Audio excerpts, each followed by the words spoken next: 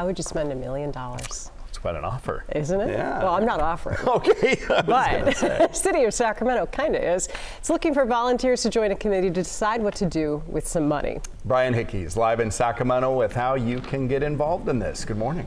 Hey, good morning to you guys. It's called the participatory budgeting process, and it's an opportunity for citizens to come together and figure out how to spend a million dollars here in the city of Sacramento for a project that might be close to you or one that you see as a community need. But that is what they're looking for for folks to uh, come out and volunteer in their city.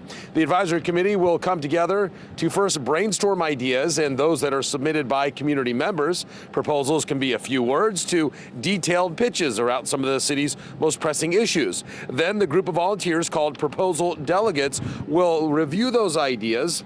They'll look at it for feasibility, work with the city, and identify those projects that have potential for a full proposal. Final proposals will then be put for a vote. Those with the highest number get funded first until that million dollars is all gone. And then finally, those projects will be funded with the goal of that, uh, having those projects implemented sometime by September. Funding for the programs comes from the voter approved Measure U sales tax. And you can learn more about the participatory budgeting process by attending a webinar tonight at 5:30. On top of a very windy bridge here in downtown Sacramento, I'm Brian Hickey, KCRA 3 News. All right, Brian, thank you. Let's